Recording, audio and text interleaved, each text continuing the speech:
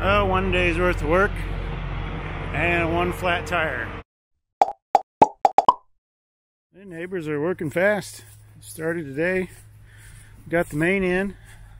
Looks like he's putting in his first lateral out there already. Check this main line out. Eight inch pipe down there. Jump over. Yeah, see it's running water already. Not surprised. So yeah, we got water already. Now it's kind of kind of dirty there because it's coming out of that connection. Well, I think the pipe's slotted too. So you can see it's real clean coming out of the outlet there. So it's already draining water out of the lowest point, which is where the main will be. And then we're gonna put in, oh, about two dozen laterals or so, something like that. 20, I think, at least. We go over here. See, there's the county main. That's all going to be to the south of what we're putting in. But that is a drain that was already there. But that's draining a bunch of people, and it's very old and probably full of dirt, broken down in spots, stuff like that. Get to see your subsoils when you do this stuff. We're used to this area being, you know, good black dirt.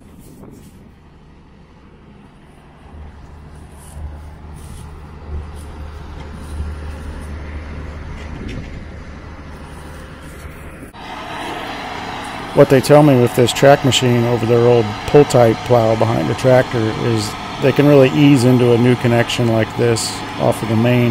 They don't have to drop the clutch and get going. You just got all the weight and traction you could need to do this. Go about 1.8 mile an hour. Oh, got freed up. Goes about 1.8 mile an hour when they're not having any trouble which over the course of a day, you cover quite a bit.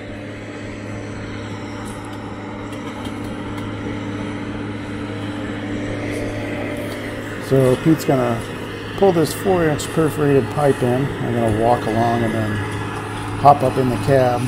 Uh, another thing I also like is, if I can explain this right, it has two points, multiple points of adjustment to handle the grade so we can keep a good slope going because of course you want the water to be going downhill. And he's got when it gets way off of that you'll see up in the cab up in here he's got a screen. But there's also a dial gauge that's actually mounted to the cab. If he gets up over a rock or something and it's, it's kind of out of whack on his screen with his pre-planned route. So this this is all mapped out ahead of time so that screen is telling him what he wants the grade to be from the beginning of the run to the end of the run to keep enough, you know, drainage coefficient going there. You can see there on the left, there's a little dial that's mounted to the cab. The cab actually pivots with that arm that the plow boot is on to keep his angle. So that was December. Now here we are in the beginning of April where those tile lines have really, you know, settled down over the winter. We've gone and picked up the rocks that got pulled up, and now we're going to fix the field up. So now we're working down these tile lines where we had drainage installed. Out here with the vertical till, getting them leveled out. A little bit wet, but enough to do this job and hopefully we stay a little bit dry now that we're going into April and be planting out here before too long.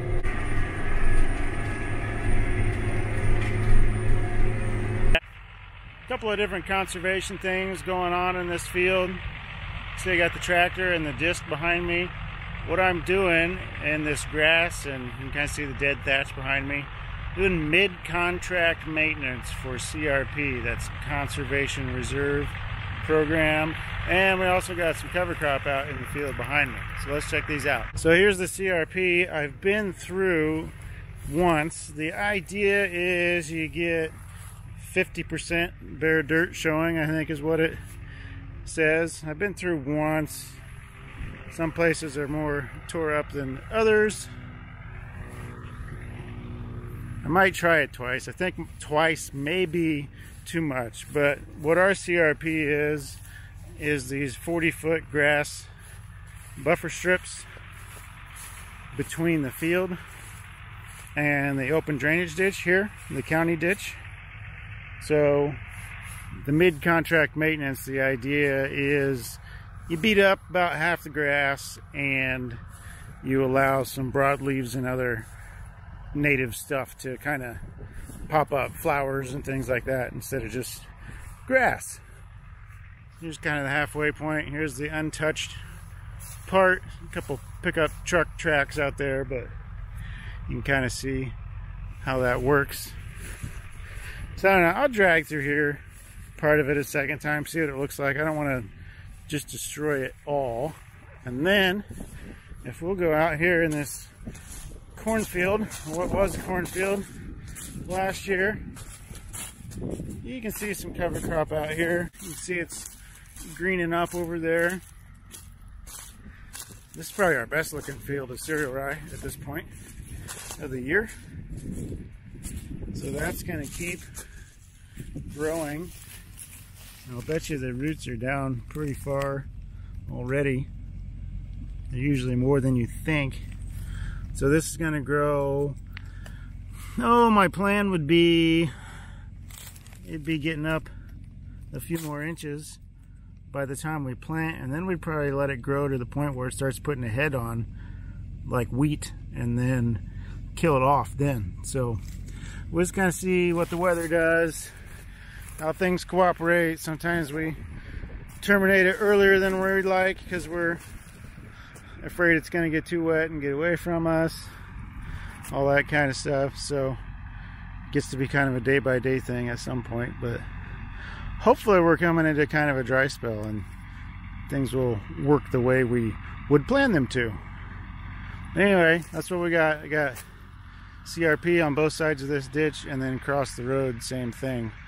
And this is the one of these four fields that has cover crop in it and it is looking pretty nice. Oh, another thing, we let it get that tall, so about my head height and you get a lot of really good weed control out of that. What we found is if we can get the cereal rye big enough, when it dies, it lays down and makes a mat on the floor of the field, and that's kind of a weed suppressant, and the crop is up above that.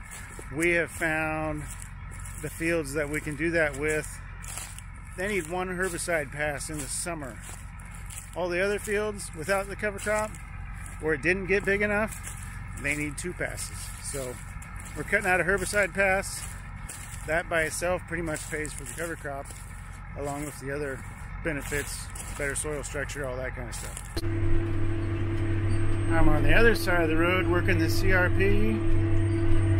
One thing that likes this is the pheasants. There's one running ahead of me in that green stretch. Now he's going over the other side. There she goes. Yeah, I'm working this side. I'm just taking a guess about half since disc is 29 feet wide. I'm just trying to keep my tires on the edge and hanging the wing out in the field.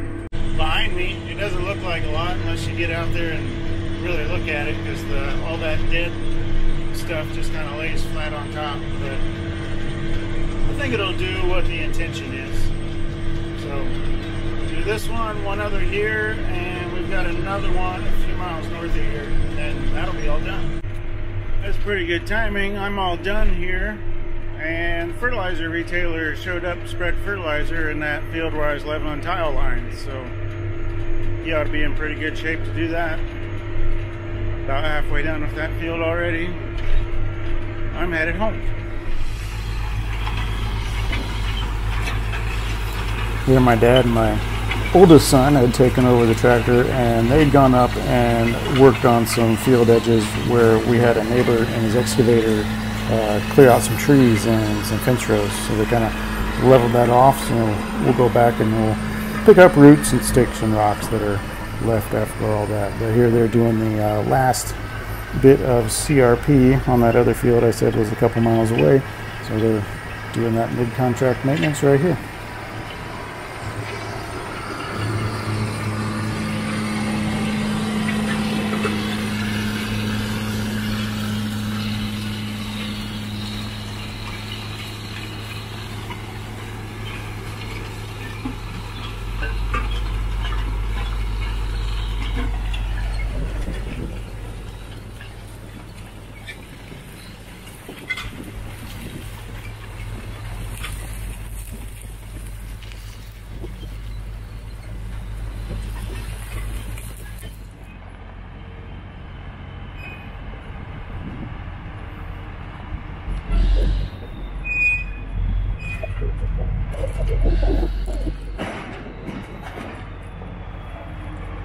about one day's worth of work and one flat tire. Still on the rim though.